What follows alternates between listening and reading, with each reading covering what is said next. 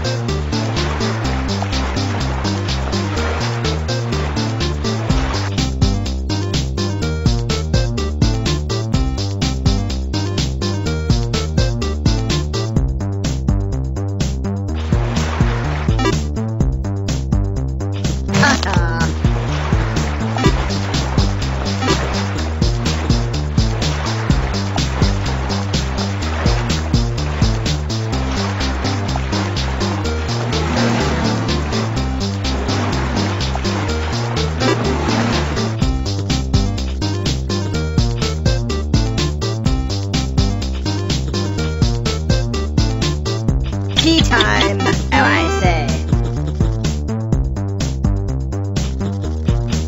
Cheers.